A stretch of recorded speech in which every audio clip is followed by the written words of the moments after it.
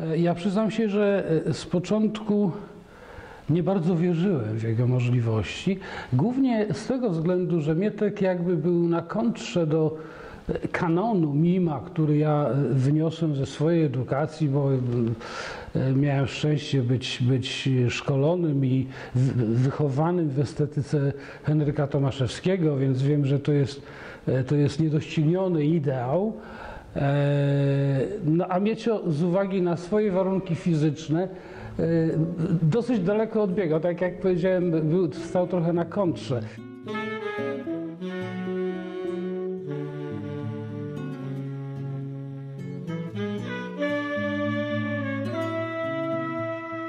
Po jego przeszkoleniu to byłby już rok 79, de facto 9, tak, e, kiedy otrzymaliśmy zaproszenie na e, wielki festiwal Obserwera w Oksfordzie.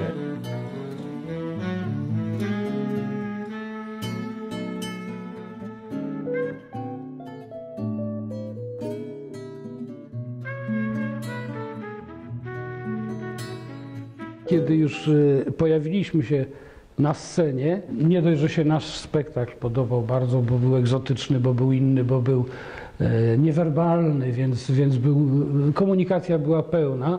Miecio z uwagi na jego wiskomika, z uwagi na jego autorskie pomysły aktorskie, Miecio wtedy po prostu no, był rozpoznawalny na ulicach. Jak chodziliśmy po festiwalowym Oksfordzie, Miecio wtedy był po prostu gwiazdą.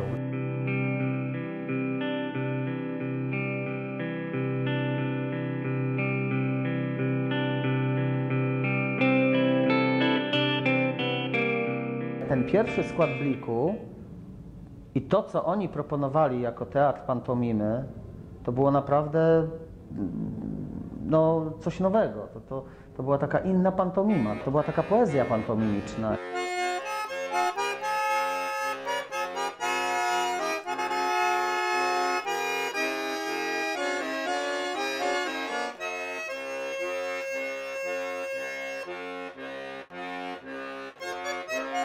On do nas przyszedł, ponieważ poproszony został przez przyjaciela mojego, żeby jakby trochę popracować z nami nad, e, nad ciałem. Ciężko było, bo się dziwiliśmy, Mietek kazał nam się rozebrać, e, nałożyć trykoty czarne, ćwiczyliśmy boso. Nam się to bardzo spodobało e, do pewnego czasu. Bo jak zaczął już tak człowiek się męczyć i chciałby odpocząć, a on nie popuszczał dalej, dalej, dalej. Mm, ale potem nabraliśmy takiego nawyku pracy. I to właśnie Miecio wprowadził. Nie dziw, nie dziw, ani ogień, jeno trwoga wielka. Podobno się Mesjasz nieba wysokiego spuszcza. Oto się inaczego, widać jakieś dzieje. Czyli prorok nadworny złą naukę sieje. O, Dzisiaj w sercu mym wszystko opak się obraca. Bóg żywy, Bóg prawdziwy, ktoś mi powiada. Woda, wiara, miłość. On w ogóle nie mówił. Y, W zasadzie Mietek po raz pierwszy odezwał się na scenie w stopie. Dziw, nie dziw, ani ogień, jeno trwoga wielka. To były pierwsze słowa, które Mietek powiedział publicznie na scenie.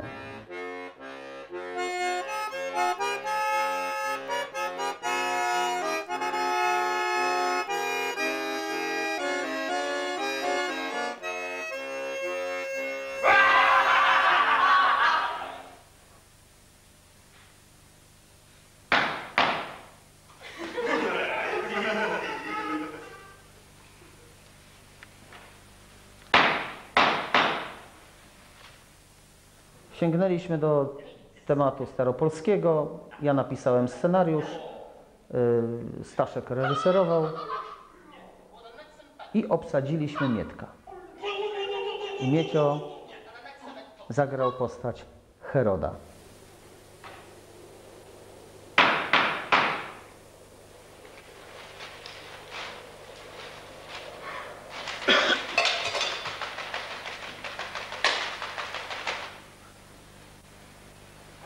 Sekstet dotyczył tego samego tematu biblijnego, yy, ale pokazanego zupełnie inaczej. Tak troszeczkę byliśmy zauroczeni yy, teatrem Tadeusza Kantora.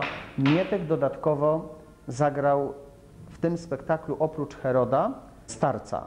Stachu grał śmierć, babę, a Mietek grał starca.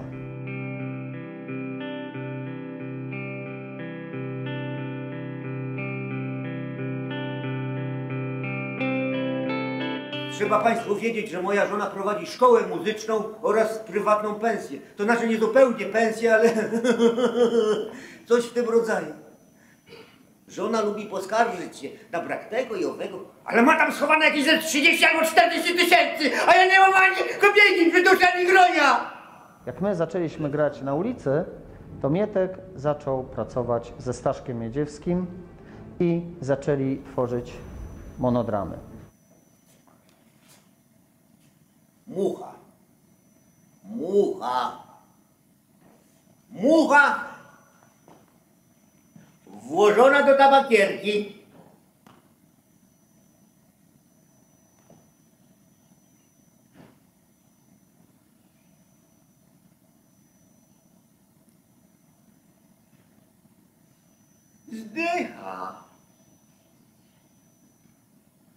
Najprawdopodobniej skutek rozstroju nerwowego.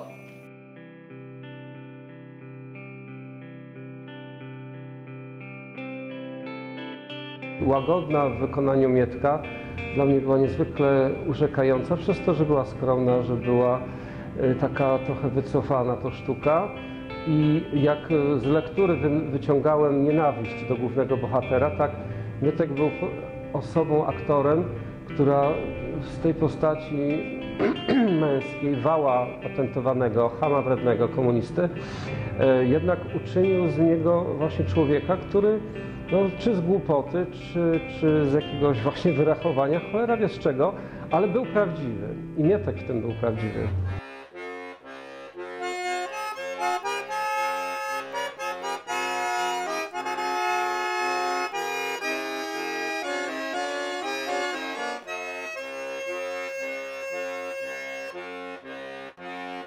Jak się pojawił nos, to y, dla mnie to jest naprawdę, to jest jedno, to jest najlepsze przedstawienie Mietka.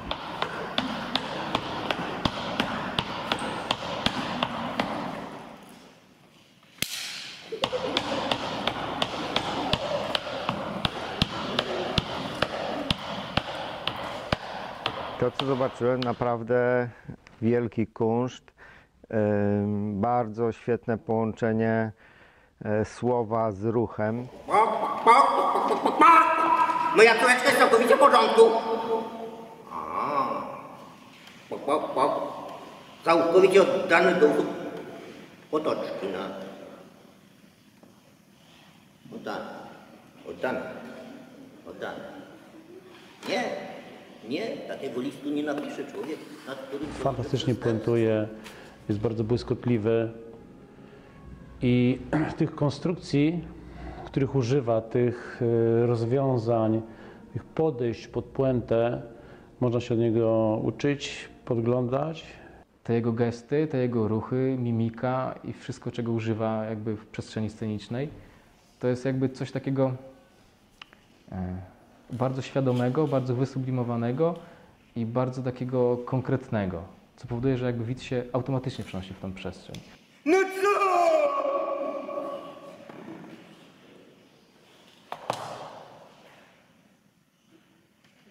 No co pan?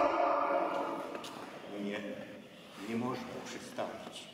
Lepiej niech tak zostanie. Przystawić pogorszyłoby sprawę.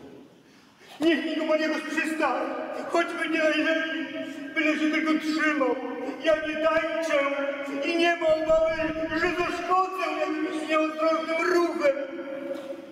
wszystkie te, te wymiary plastycznie, ciało, ruch, precyzji ruchu, e, interpunkcji ruchu, ciało jako, jako głos.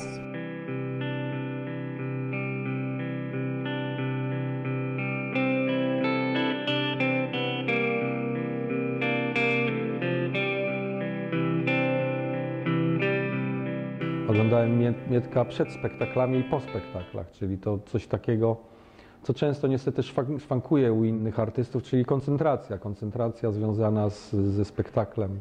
Mietek jako człowiek bardzo wyciszony, bardzo uważny. Spektakl sam jest też trochę Mietkiem. On się nie popisuje e, umiejętnością. Ta umiejętność jest jakby ukryta gdzieś. Mimo, że on to zna i on to potrafi, ale to gdzieś jest poukrywane i to pojawia się w jakichś takich bardzo subtelnych momentach.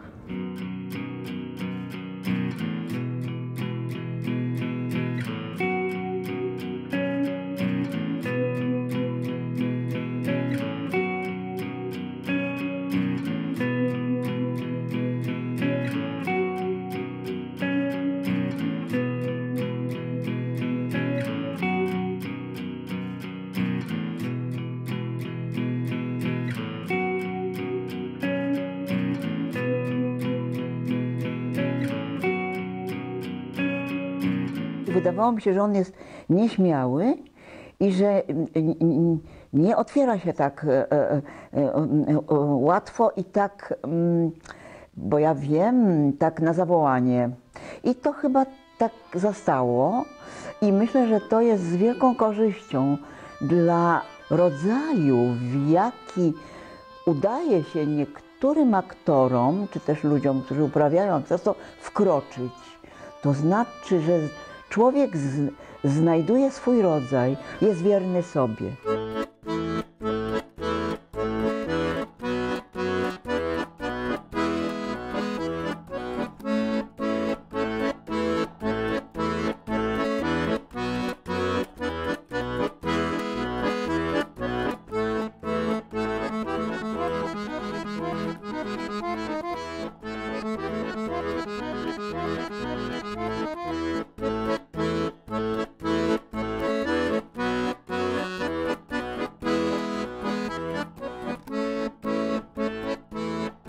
Wieczorem mamy zbiórkę, przychodzę do, y, do autokaru, a Miecio siedzi w gipsie.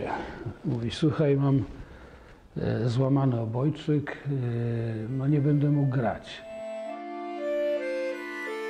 Ja całą noc nie spałem, kombinowałem, jak go zastąpić, bo miał istotne role. Wychodzę rano z hotelu, a tu patrzę, Miecio bez pancerza. I co się okazało?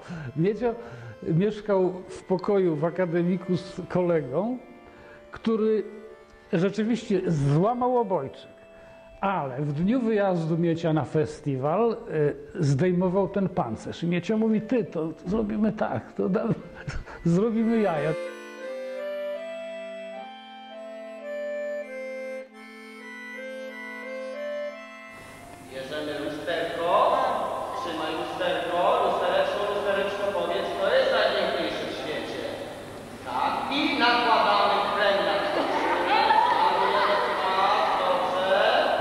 Ja działam sam, kilkanaście minut, a potem doprowadzam do tego, że dzieci wołają Miecia. Mieciu, Mieciu, Mieciu.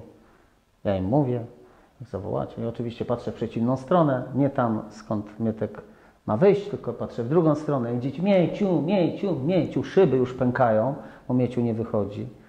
E, Wrzask totalny. Zatrzymuję akcję. Teraz ja, jeszcze raz, krzyknąłem Mieciu, Mieciu, nie ma Miecia. No i co się okazało? Mieciu zasnął w garderobie. A przed wyjściem, jak wychodziliśmy na mm, scenę, to mówimy tylko nie zaśnij.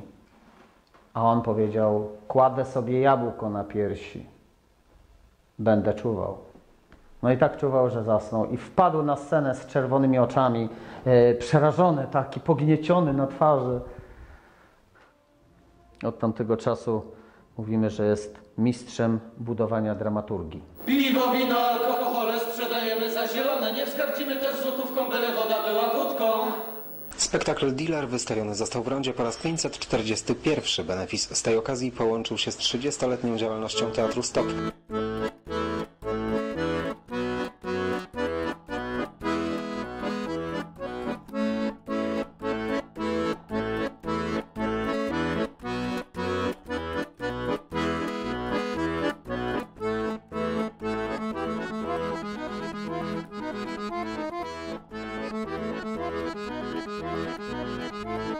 Sumiennie przez 9 miesięcy jeździliśmy a to na Pomorze, a, a to na Kujawy, a to do Chojnic, a to do Koszalina, a to do Słupska, a to do Bydgoszczy, żeby zrobić spektakl.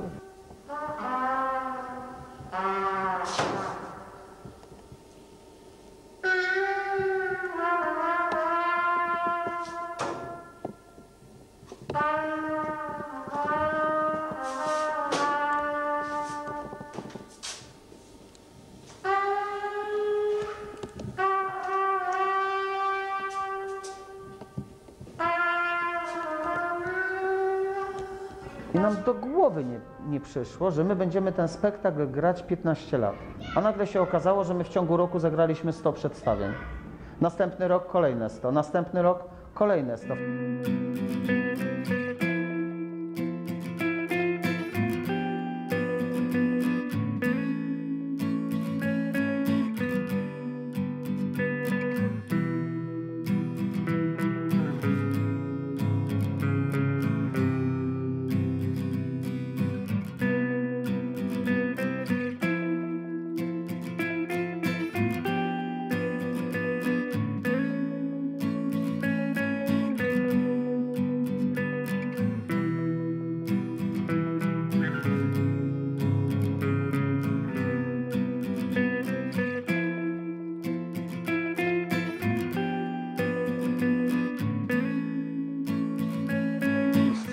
antydepresyjna szkoła miała właśnie stać się taką formą różnorakich działań, która miała pokazać, że, że istotne jest i ważne, abyśmy polubili się sami, tacy jacy jesteśmy.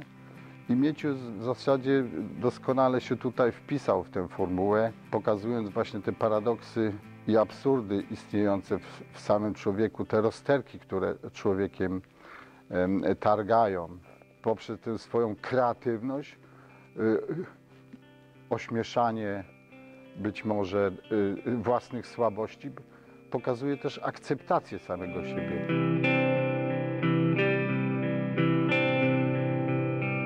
Z jednej strony jest y, no, umiejętność taka warsztatowa, a z drugiej strony coś takiego karykaturalnego y, w tych postaciach jest, które on buduje. Jakaś taka deformacja na niekorzyść postaci, w sensie ładności, która powoduje, że ta postać jest mi bliższa, bo pr- przez to, że nie jest taka doskonała. To Aleks, ukłoń się Marcysi. Odkłoń się. Ukłoń się. Odkłoń się. Ukłoń się. Odkłoń się. Ukłoń się. Wystarczy. Może przełożyć do lewej ręki. Dobrze, do prawej. Do lewej. Możesz mi oddać. Nie ma, nie ma, nie ma, nie ma, nie ma, nie ma. Nie ma, nie wiem, gdzie kręci. Trzymaj, podać, podać, podać dalej. To jest magiczna różdżka, tak? To trzymaj magiczną różdżkę. Tak. Różdżka i pokazuje. Pan Mieczysław daje dużą dozę zaufania. Nie narzuca niczego, ewentualnie coś może nakierować lekko, ale pozwala jakby w pełni uruchomić to, co się ma w sobie. Dać z siebie to, to co najlepsze.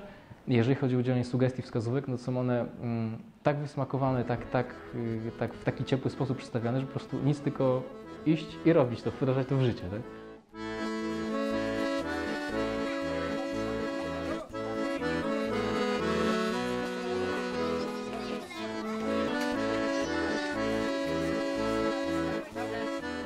I pytanie brzmi tak. Czy można poprosić dorosłą osobę, by nie paliła przy dziecku? Słuchajmy, no właśnie. Czy można, czy nie można? Nie mówisz nie, a ty jak mówisz? Stworzyliśmy projekt, który był programem e, wspólnie wypracowanym z Światową Organizacją Zdrowia, ale to był nasz autorski projekt. Program, który był skierowany przez dzieci do rodziców. A Mietek odgrywał tutaj kluczową rolę. Rzadko można znaleźć e, artystę, człowieka, który jest związany ze sztuką, a który swoją całą e, tą, właśnie to, to działanie artystyczne przekłada na profilaktykę. I mam trzy odpowiedzi tutaj. Rak. A. Owoc południowy. B. Siatka na motyle. C. Groźna choroba wywołana paleniem tytoniu. Groźna choroba, to jest dobra odpowiedź. Ja jestem w tym etapie takim najbardziej teatralnym, e, spotkanie z dziećmi, z młodzieżą i, i kiedyś Mietek mi to zaproponował i bardzo mnie to ujęło, bo e, Mietek jest takim człowiekiem, który cały czas daje szansę światu, żeby był lepszy i robi to z wielkim wdziękiem. Iza, ukłon się tam Iza. Tam się. Tak. Pod nogami stoimy. Tak.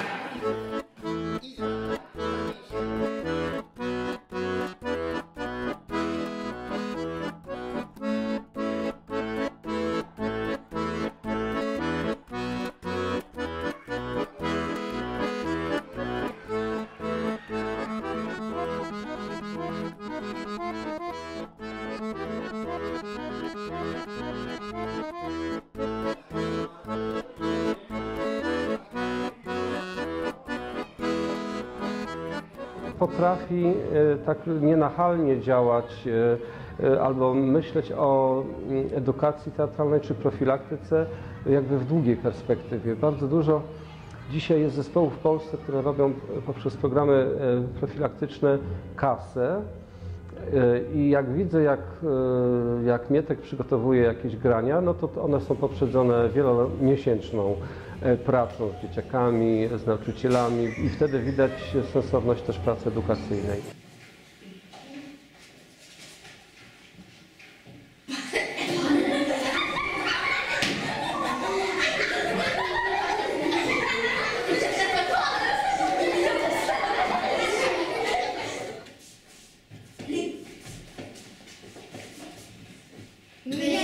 więc nie palę. O.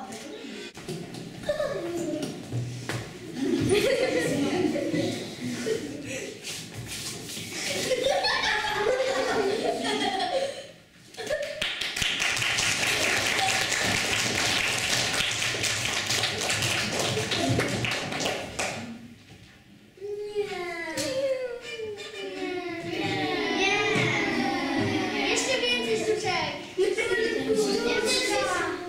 Sztuczki. Nie.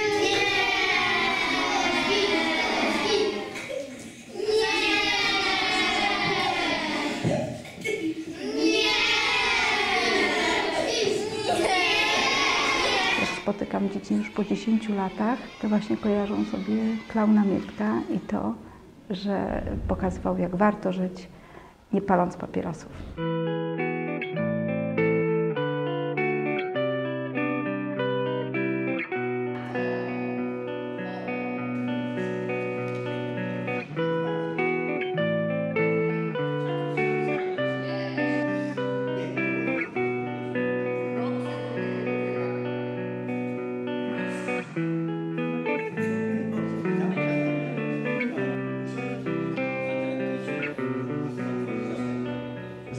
Głęboko w oczy na warsztacie trzeba i trzeba e, wyczuć ten moment. Czy trafiasz, czy nie trafiasz? Czy jesteś obok? Bo jak jesteś obok, to za chwilę powstanie znudzenie i albo czy za dużo nie dajesz w tym momencie y, treści, y, czy nie przesadzasz y, z wysiłkiem, bo jednak są to ludzie nie nawykli do takiej pracy. A z, a, a- z innej strony trzeba zachować atrakcyjność i dynamikę zajęć. I jeszcze już trochę ciała. Jezu.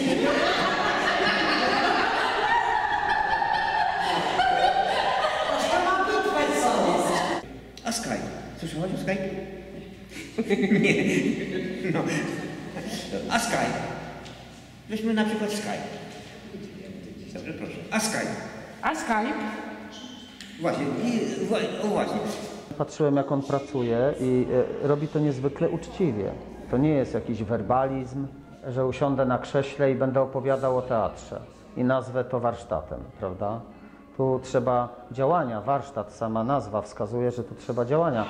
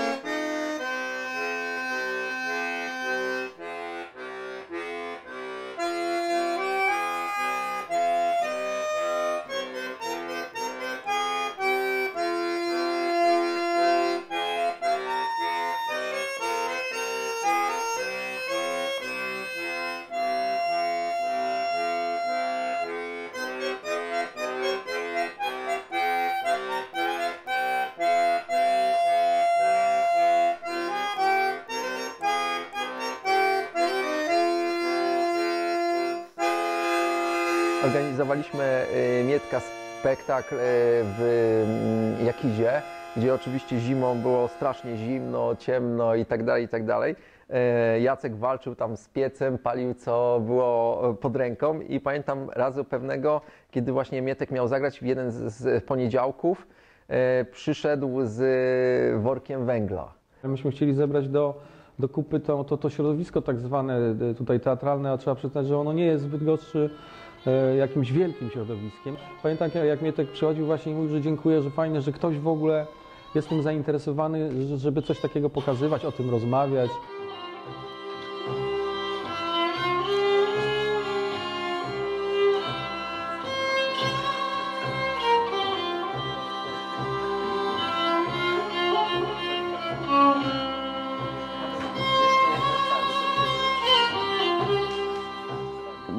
Kupił mi kiedyś sok z marchwi. Ja ten sok wypiłam i potem kilkakrotnie się zdarzyło, że nagle przyjeżdżam do jakiegoś mi- miasta i znajduję w miejscu, które jest moją garderobą czy jakimś, znajduję butelkę soku z marchwi. I myślę sobie wtedy, że Mietek się pojawi. Ale y, nie pamiętam gdzie to było, ale przyjechałam, pojawił się sok z marchwi, a Mietka się nie, nie było. Więc Mietek okazało się, że komuś kazał kupić dla mnie sok z marchwi. Jednak stojąc za tym sokiem szalenie wyraźnie. Wybitny z jednej strony pod względem właśnie y, tego daru, jakim jest właśnie ta y, dziwna, e, niezdefiniowana emanacja aktorska, a z drugiej strony no, y, daru, y, y, którym był jego kodeks etyczny i który potrafił wyeksplikować i powiedzieć, słuchaj, ty źle zrobiłeś, jak ty uważasz? Potrafił oddać pieniądze za pracę, której nie wykonał, a my załatwiliśmy tę umowę po to, żeby miał pieniądze na przejazd z Bydgoszczy do Słupska. A on uczciwie, nie, ja tej pracy nie wykonałem, ja pieniędzy wziąć nie mogę. Kiedy ja już byłam właściwie no zdecydowana, że zamykamy, rozstajemy się z tutaj naszą działalnością, to mówię, nie, tyle włożonej pracy nie można. I tym urzekał, bo, bo to było trudne, to nie było takie proste.